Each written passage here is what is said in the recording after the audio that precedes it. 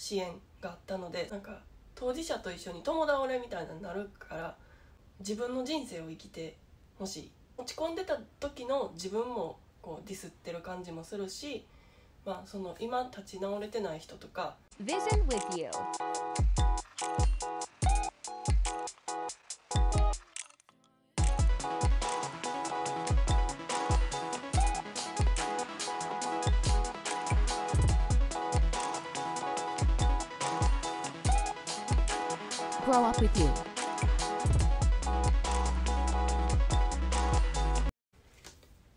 ビジョンウィズユーです。今日は、えー、と私が弱視の私が、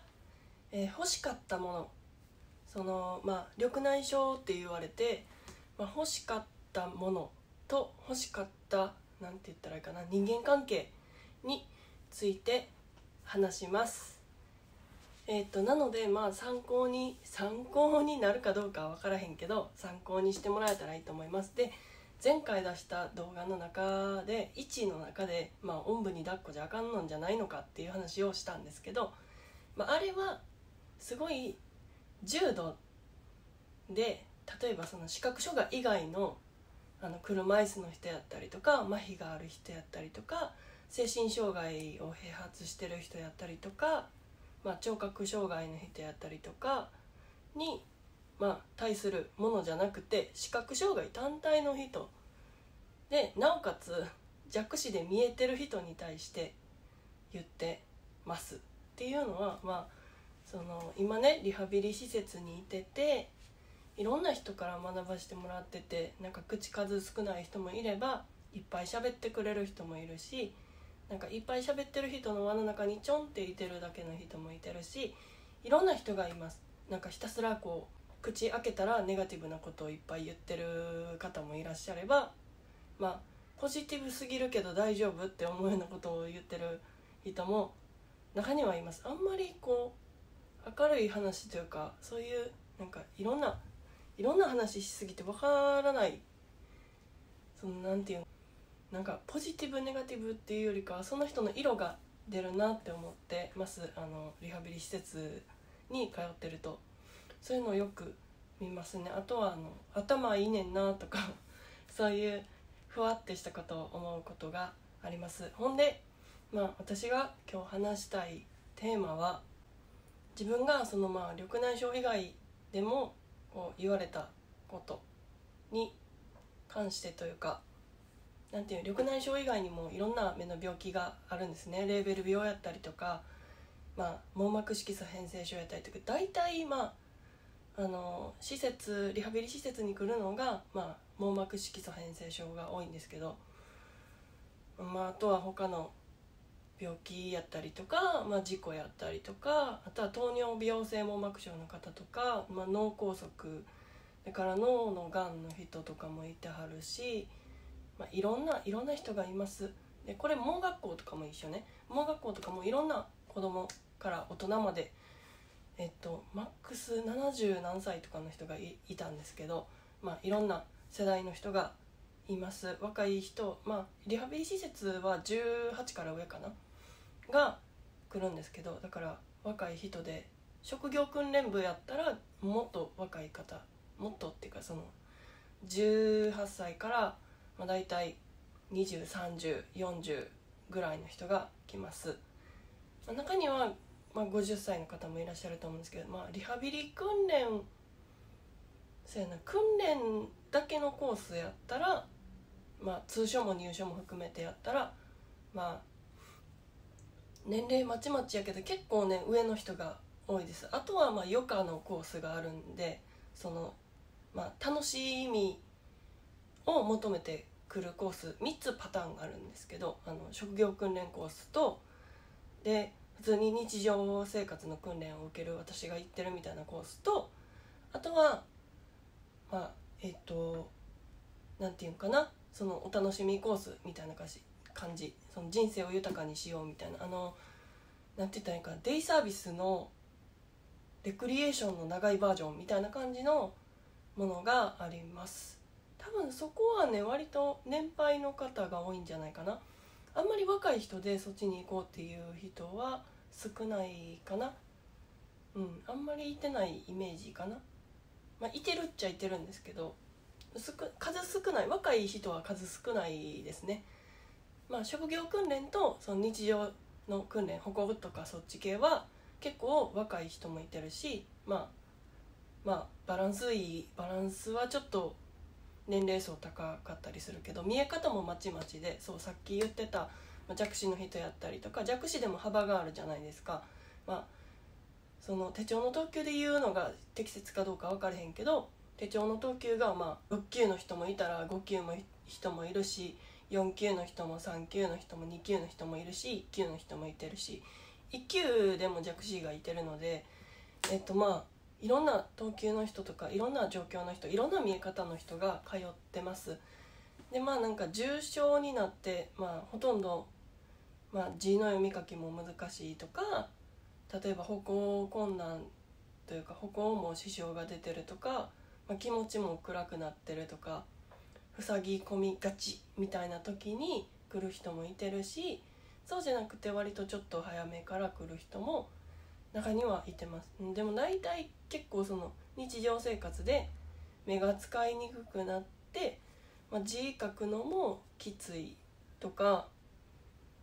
あのーていうん歩行も自分でその難しい人の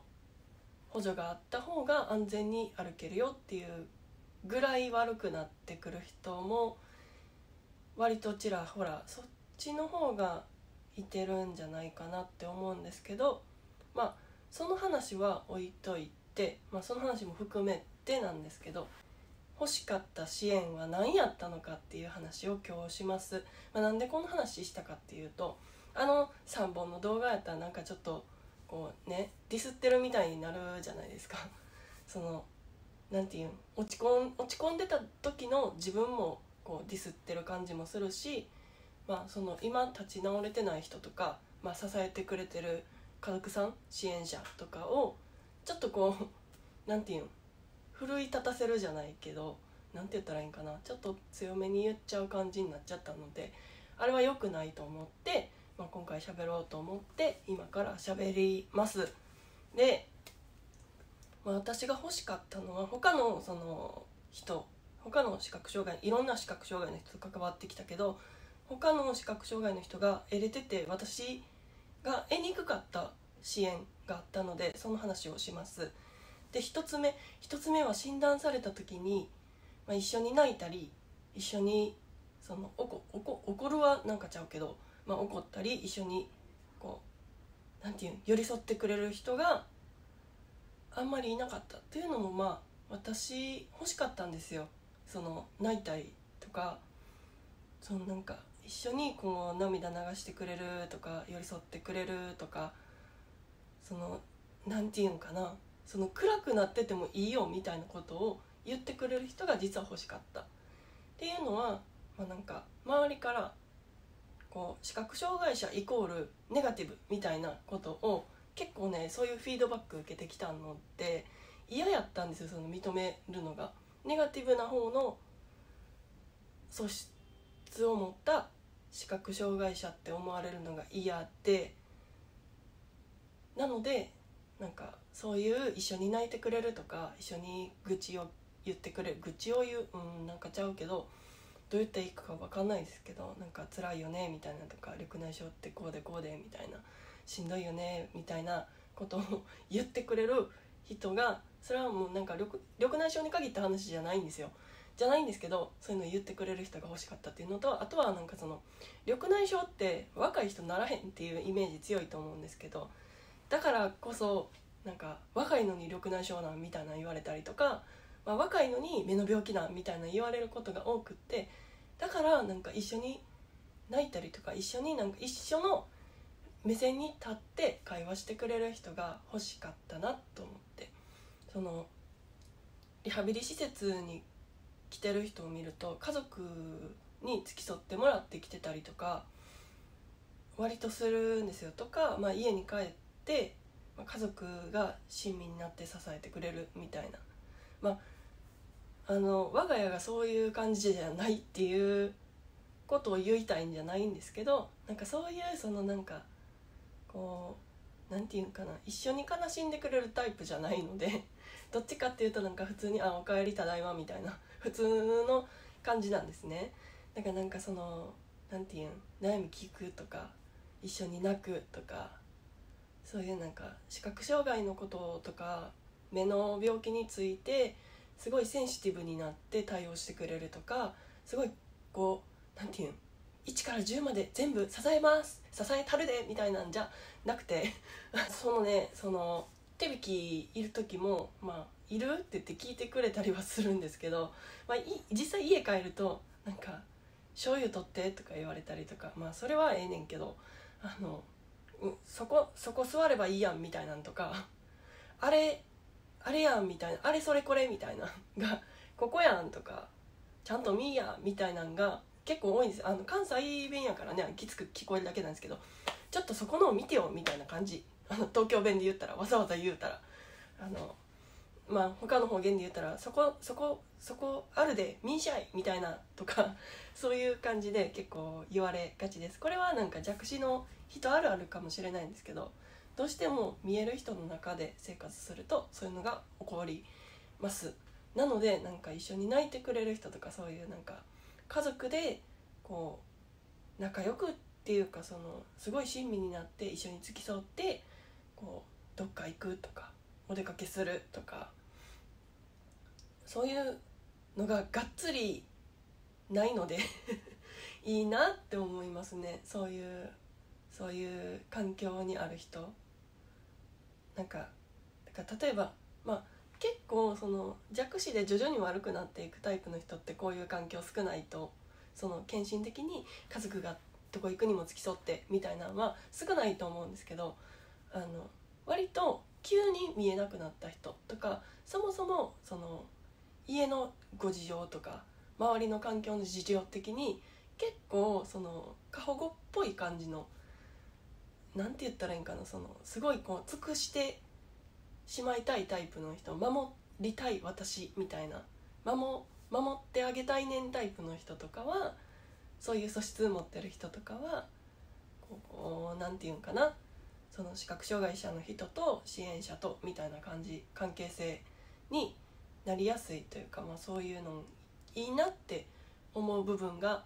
ありました。私の場合は。で2つ目2つ目私が欲しかったのはあのあまあちょっと待って。まだまだ喋り足りひんねん。あの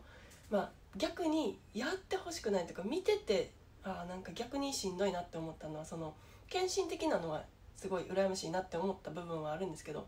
その献身的すぎてこの人鬱陶しいとか思わへんのかなって思うぐらい例えばその支援者側、まあ、家族やったりとか友達やったりとかまあすると思うんですけどもうあの本人以上に落ち込みすぎてるというかなんかなんでこの子は見えなくなったの？みたいなあのちょっとドラマチックな感じの方とかもいらっしゃってて構ね結構しんどいそういうの見てるの。そのまあ間近では見ないですよ。見ないけどなんかそういうのをそのやり取りを感じる時がある。その、まあ、盲学校ではあんまないんですけどそういうその何？例えば、まあ、障害持った人の、まあ、これは視覚障害関係なくて障害持った人の集まりとかそういうなんて言ったらいいんかな。まあ障害成り立ての人のところとかまあ割とお年を召してから障害持った方とか、まあ、ちっちゃい時から障害持ってたけど徐々に悪なって、まあ、お年寄りぐらいの年齢になっちゃった人とかの周りで結構多いんですけどそのだから、まあ、あんまり先天の人でうちの子は見えなくてかわいそうみたいな雰囲気出してくるとかうちの人はその見えにくくてすごい困ってて、まあ、なんか何をするにも支援が必要なんですみたいなスタンスっていうかこのマインドというかなんていうか心の持ち方の支援者が多いのは割とまあそのずっと長く障害者の歴が長くておじいちゃんおばあちゃん世代ぐらいの人とか、まあ、あとは急に視覚障害者になっちゃった人とかもうこれは別よね。それはなるよ。そうなるよっていう感じなんですけど。いやもうだって普通親身になれへん方がびっくりするけどみたいなぐらいで、まあ、あとはすごい先天の障害でもともと周りの人がそういう献身的なタイプやったっていういう人はちょっと苦手羨ましい反面ちょっとなんか過剰にというかこのなんかこう度度が過ぎすぎてちょっと引く感じする。あのしんどい しんどいかなって思う。私個人的にですよ。それがそのすごい献身的になんかもう昔のおじいちゃんおばあちゃんの世代ってもう旦那さんの靴下も用意する。でなんかまあ旦那さんが履く、まあ、下着も用意して毎日着る服も決めてみたいな。で奥さんがまあなんかそういう家の事務手続きとかもできて旦那さんはもう仕事から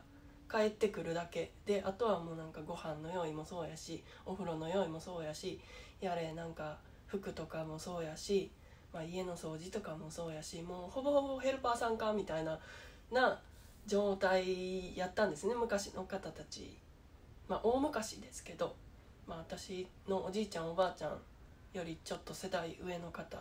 とかになるとそういう状況があったんですけどもそれに近い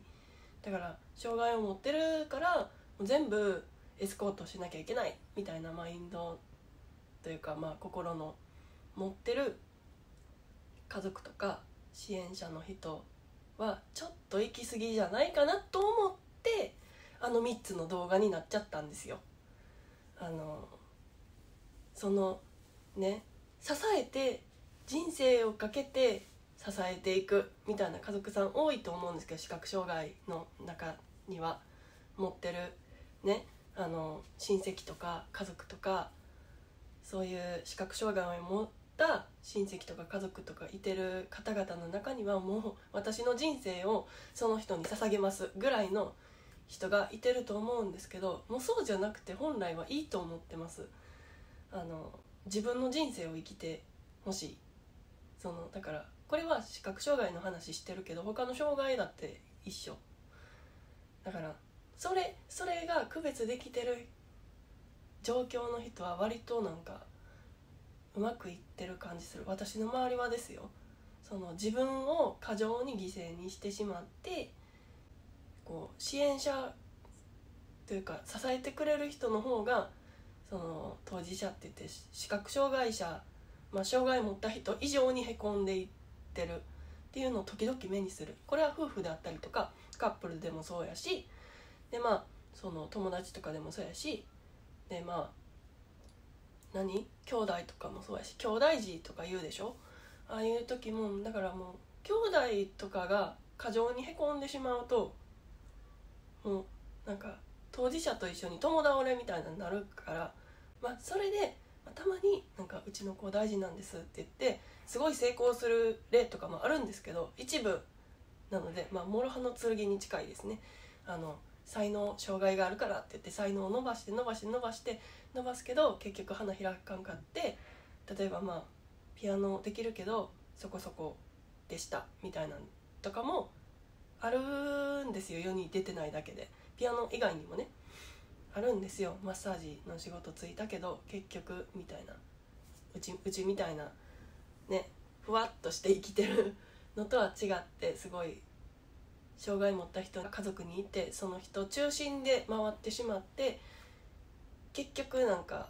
こう大変なことになっちゃうご家庭とかもあったりとか環境とかもあったりして逆にまあ障害持った人の側がすごい暴君になっちゃってね。暴力的になったりとか当たり散らすじゃないけどそういうことになったりとかもする例もありますし私も、まあ、かつてねそういう時期があったのでここで喋ってます。すごい暴力振るったとかじゃなくて例えば家族とかにきつく当たっちゃったりとか無知ったから言ってるんですけど、まあ、今もちょっと言ってるかもしれへんけどお酒飲むんやめやとか言うてしまってますけどもはい。まあねそれぐらいはいいいいんちゃうかなと思うけどあのその視覚障害者以上にそのサポートしてる側がへこむとかなんかすごい泣くとか逆にその視覚障害の人のやる気を妨げるじゃないけどそういうこと行動とか言動とかをしないようにしてほしいかなっていうのを含めて一番にこれを持ってきました。あの一緒に泣いてくれる人が欲しいっていう話ですね。これを持ってきました。さじ加減が大事。続く。